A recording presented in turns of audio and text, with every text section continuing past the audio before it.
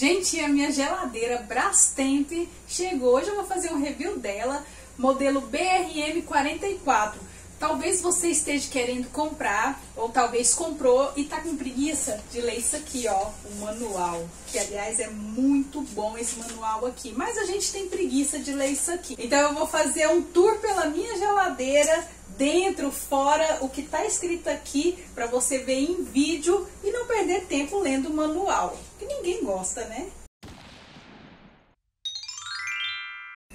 Difícil é espaço na cozinha de apartamento. Mas eu vou mostrar ela aqui todinha pra vocês.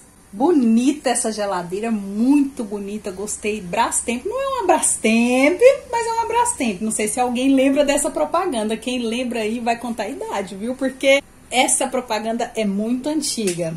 O modelo A gasta 54 kW por mês. E aqui não está informando, mas ela tem 375 litros entre congelador e a geladeira. O congelador dela é muito grande e por isso a geladeira acaba sendo um pouquinho menor do que as outras. Sim, ela é pequena, né? Se ela fosse mais alta, aí sim, ela seria até um, uma geladeira maior.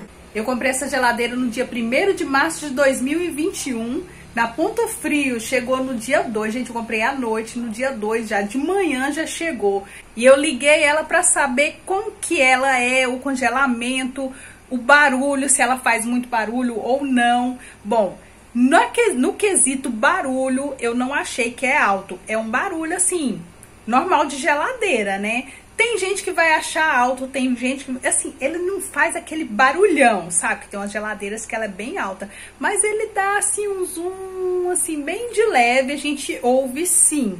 E se tiver alguma dúvida, eu não sei quando é que você está assistindo, deixa aí, olha, estou assistindo na data tal e a minha dúvida é essa. Porque aí eu vou falar nesse tempo que você está assistindo, se ela tá dando certo ou não, se acontecer algum problema, eu vou aí contar pra vocês. Eu, eu amo responder mensagens, você não tem noção. E eu vou mostrar ela agora ligada e depois, claro, vou desligar. Aqui no freezer, se alguém quer saber se tem luz, não, não tem aqui dentro do freezer, não tem. E na geladeira ela é uma luz de LED. Para vocês verem, ela tá ligada aqui, ó, desde ontem e aqui já tá, ó, tá vendo? Já tá bem gelado, gente. Na parte de baixo, ela já não gela tanto, tá? E na parte de cima, ela está muito gelada. Olha o barulho do gelo, ó. Tá vendo? Muito gelada. Agora vamos desligar ela. Na tomada, ela vem com três pinos. Aqui eu nem tiro, justo para mostrar aqui, ó, jamais, aqui tá falando jamais, tira o pino do meio, porque tem pessoas que têm mania de tirar esse pino do meio, olha aqui, minha, meu dedo tá cheio de batom, né? No manual de inscrição fala pra gente ter o aterramento, aqui nessa casa infelizmente não tem, mas esse aterramento ele é para não dar choque na geladeira, porque algumas geladeiras dá choque sim, e principalmente atrás da geladeira corre o risco de dar choque quando não tem o aterramento. E jamais, never, nunca use uma tomada dessa aqui, ó, um adaptador desse, um T, né? Aqui a gente toma, chama de T. Por isso que é bom uma tomada de três entradas aqui, ó. E claro, se você estiver gostando, já vai deixando o seu ok aí pra mostrar pra mim, Elo, o vídeo tá ficando bom, então o vídeo não gostei, já vou passar a sair dessa já, porque o vídeo eu não gostei não. É melhor você melhorar o vídeo aí. Se inscreva se você ainda não foi inscrito no canal, tá? Quando chegar, logo assim que chegar, não liga a geladeira. Espera aí mais ou menos umas duas, três horas. Enquanto isso, você pode limpar aí a geladeira. Eles pedem para ser com uma água morna e um detergente, só isso, com umedecido paninho com água morna e o detergente. A minha filha limpou, só que ela usou uma água fria mesmo. Não precisa colocar álcool, passar álcool por toda a geladeira. Isso pode estragar, vinha danificar. Água e detergente, só isso, só isso. O que eu gostei muito dessa geladeira, ela porque ela tem, ó, dois compartilhamentos na porta mesmo, ó. Porque tem umas que não tem nada na porta. Essa veio com dois, eu gostei demais, porque eu acho que é bom a gente colocar, tipo, bacon. Eu gosto de colocar bacon aqui. Conta aí o que é que você guarda na porta da geladeira, se caso você já teve ou tem alguma geladeira que tenha esses compartilhamentos. Ela vem com quatro portas gelo, ó. E é muito fácil tirar. Duas na frente e duas atrás. Aqui embaixo é onde é a saída de ar. Eles pedem para evitar colocar alimentos bem próximos, assim, ó, tampando isso aqui, porque pode dar problema na geladeira. Temos essa circulação de ar, onde você pode jogar tanto para um lado quanto para o outro. O aconselhado é deixar no meio. Elô, pra que isso de um lado para o outro? Chegar aqui perto, ó, Max refrigerador e Max freeze. Aqui nessa posição lá na geladeira, ela vai ficar mais fria e nessa posição que não pode também nenhuma das duas deixar por mais de 24 horas. O aconselhável é no normal mesmo.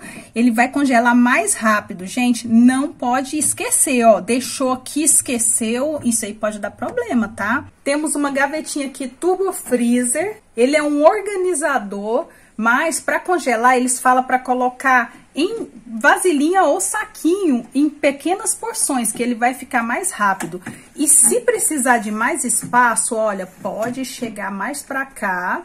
E aí ele vai chegar um pouquinho, ele vai ter um pouquinho mais de espaço. E o melhor seria remover essa gaveta, só que eu preciso das duas mãos para remover ela, porque assim, ó, vai dar um pouquinho mais de espaço. Elô, e a profundidade, amiga? Será que cabe muita coisa aí nesse freezer? Olha só, eu fui lá fora comprar um refrigerante pra gente fazer na prática aqui, pra você saber o que, que é que vai caber, como, como que vai caber. Colocar aqui o refrigerante, ó, assim. Vamos ver se ele fecha, fica assim. Ele não fecha, tá bom? Então vai ter que virar para ele caber. Assim ele vai fechar. Em pé, claro, não cabe. Mas essa gavetinha aqui, porta, porta latinhas e long neck. Cabe seis latinhas e três long necks.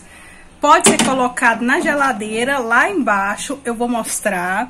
E vamos deixar ela aqui, ó, pra cima também não cabe, viu? Vamos lá embaixo, então, já que eu falei do porta-latas e long neck, mostrar onde mais ele...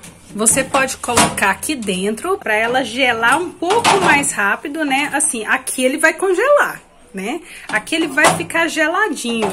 E nessa parte de baixo, ele vai gelar menos mas o problema é que não dá para colocar mais nada, só que essa prateleira a gente pode subir ela. Eu preciso remover essa peça porque ela não abre mais que isso, ó. Ela tá travando. Agora eu removo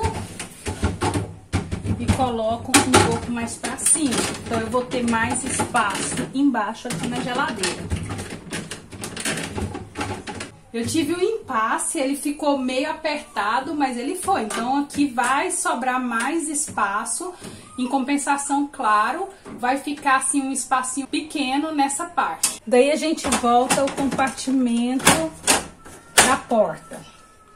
E por falar nisso, olha só, ele vai de um lado pro outro, tem as forminhas de, de ovo aqui, mas não é aconselhável colocar o ovo na porta geladeira. Eu acho que aí quase, eu acho que todo mundo sabe disso aí, né? Então, eu tô usando, eu vou usar mesmo o da minha geladeira antiga, que é esse, só que eu já vi ele nessas lojas de utilidade. Continuando na porta da geladeira, temos aqui esse, eles, aqui tá escrito, ó, porta temperos, e esse que não tem tampa e é removível. Tem mais uma e embaixo tem esse aqui mais fininho que eu já coloquei pó de café. Elô, pra que pó de café? O pó de café não vai deixar o cheiro forte da geladeira. Você pode colocar o pó de café ou então bicarbonato. Lá no fundo temos a saída de ar, que eles falam a mesma coisa, não deixar o alimento muito próximo. Embaixo dele temos esses buraquinhos com um isopor. Gente, não remove, viu? É coisa da geladeira, então é bom não remover. Vamos agora nesse que muita gente tem dúvida se deixa nesse, no segundo, no terceiro ou no quarto. Mostrando que não tem dificuldade, gente. Já tá tudo escrito justo para não errar, olha. Controle da geladeira. O primeiro, para dias frios e poucos alimentos. O segundo e o terceiro, que você pode deixar ou em um ou em outro, condições normais de uso. E o quarto, dias quentes ou muitos alimentos. Às vezes o dia tá até frio, mas se você tiver muitos alimentos, então deixa nesse quarto aqui. E um problema que eu encontrei é que tem que ficar bem próximo de uma tomada, gente, porque senão ela não vai. E se caso a sua geladeira não estiver próxima, você não pode usar uma extensão. E uma coisa que está escrita aqui no manual é que não pode estar próximo de lavanderia por conta de produtos químicos. O meu tá bem do lado da máquina. Como eu vou mudar, eu vou mudar de apartamento, então é uma coisa que eu vou fazer. Tá falando que nem coisas quentes, como fogão, e nem lavanderia, que vai o produto químico. Então não pode deixar próximo, viu? E se você apertar aqui, ficar apertando por alguns segundos, ó, isso aqui vai acionar a função turbo. Essa posição turbo ela vai acelerar tanto no refrigerador quanto no freezer. Por isso que ele vai só de 1 a 6 horas. Quando ele vê assim, ele sentiu que ficou bem refrigerado, ele mesmo desliga. Você não precisa desligar. E após o desligamento, a temperatura vai voltar para a mesma posição anterior. Muita gente fica preocupado por conta de esquentar muito do lado.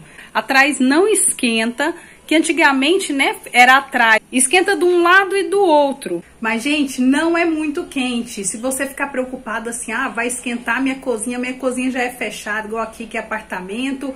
Ou então, ah, eu tenho uma criança, e aí, se ela colocar a mão, que ela vai colocar a mão direto ali na geladeira, e aí vai ficar muito quente, vai queimar a mãozinha dela. Não, não se preocupe, porque não é assim, tá? O que acontece na geladeira mesmo já vem escrito, ó, que antigamente era na parte traseira, vinha até assim que o pessoal ia colocava roupa ali. Eu já cansei de fazer isso, coisa errada pra caramba. Então acho que eles tiraram, um dos motivos é esse, porque compromete o aquecimento da geladeira. Ela trabalha muito mais, a energia vem mais cara.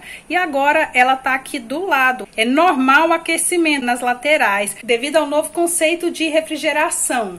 E a novidade aqui é que isso você pode remover, ó, ele vai cair. Sabe o que é isso?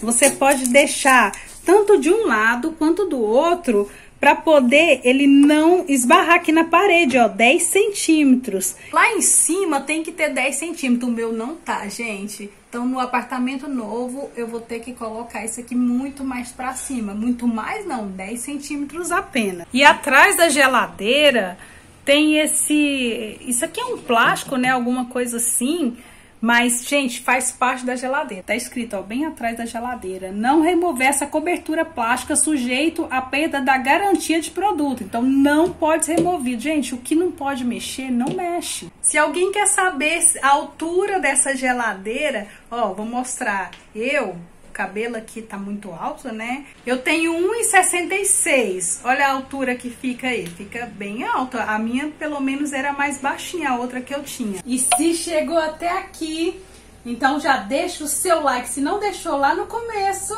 E fiquem todos com Deus.